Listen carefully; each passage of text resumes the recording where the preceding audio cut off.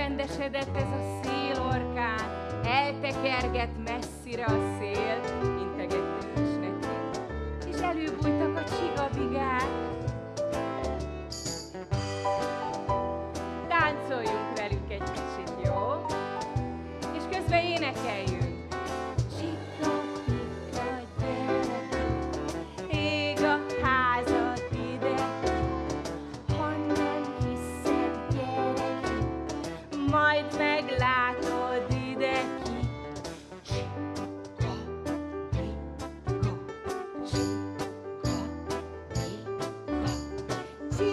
biga, gyere ki, ég a házad ide. Ki, csiga, biga, gyere ki, ég a házad ide. Ki, csiga, biga, gyere ég a házad ide. ki,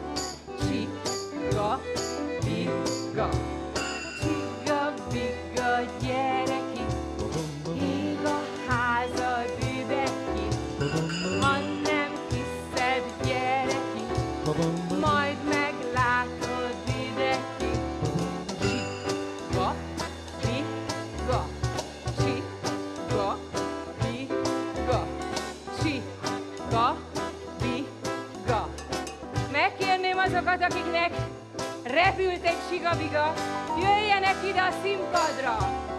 Álljanak szépen sorba, hogy mindenki lássa őket. Forduljanak a közönség felé.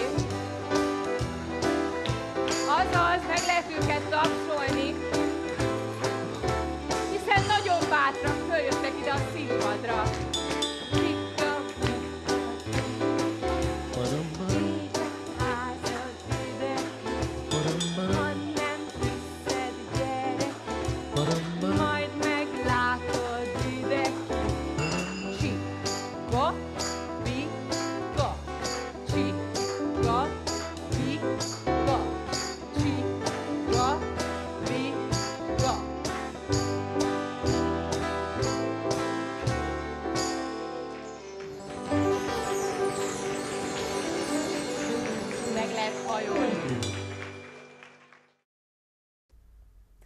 Szervusztok gyerekek!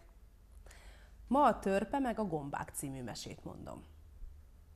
Volt egyszer egy haszontalan kis törpe. Az volt a legnagyobb mulatsága, hogy a gombákat pusztította. Ahelyett, hogy szépen lement volna a bányába a többiekkel dolgozni, fönt haszontalankodott az erdőben. A többi kis törpének az volt a feladata, hogy a vasat, ezüstöt, aranyat felhozzák a tűzhányó hegyekből és elrejtsék a földben, de úgy, hogy a szorgalmas emberek megtalálhassák. Hanem ez a haszontalan kis törpe csak annyi vasat hozott fel magának, hogy jókora kést készíthessen belőle, és azzal vagdosta a gombákat sorra. No, meg is haragudtak a gombák. Egy éjszaka követeket küldtek széjjel, hogy valamennyi gomba gyűjjön össze tanácskozásra, hogy mit tegyenek a kis törpével. Még a taplógomba is eljött a nagy fenyőfáról. Titokban súgtak, búgtak, és senkinek el nem árulták, hogy mit határoztak. Hanem másnap, amikor a törpe előugrált a kis barlangjából, csupa furcsa idegen gombát látott a fák alatt. Azért mégsem ilyet meg tőlük. Odaugrált az egyikhez, hogy levágja, nagyot ütött rá, hát olyan nagy durranás hallatszott, mintha egy ezret katonaság lövöldözött volna, a gomba felpukkadt, és szemét, száját teleszórta a kis törpének valami furcsa porral. Ilyettében egy másik gombához szaladt, nekiütődött, az is felpukkant. Aztán meg a harmadik, negyedik, míg a törpe se nem látott, se nem hallott, sírva kuporodott le a földre.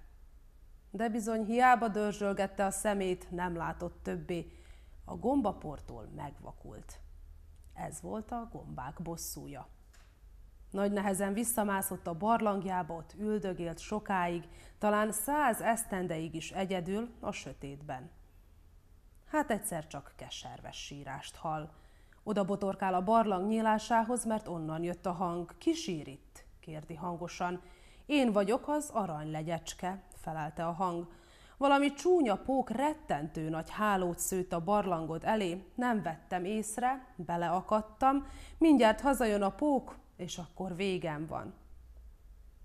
A kis törpe szeretett volna segíteni a legyecskén, eszébe jutott a régi kardja, addig tapogatózott, míg megtalálta. Azzal levágta a csúnya pókhálót, a legyecske kiszabadult, hálából elszállott a szemnyitó virághoz, egy kis harmatot kért tőle, azzal megmosta a törpe szemét, hát egyszeribe meggyógyult a szeme, megint láthatta Isten szép világát, de nem is bántotta többet semmi teremtését a jó Istennek. Szorgalmasan dolgozott a testvéreivel, és vidáman éldegélt. Hogy mit láttam, elmondhatom, de jobb lesz, ha lerajzol. Megláthatod te is velem, csak nézd, csak nézd a jobb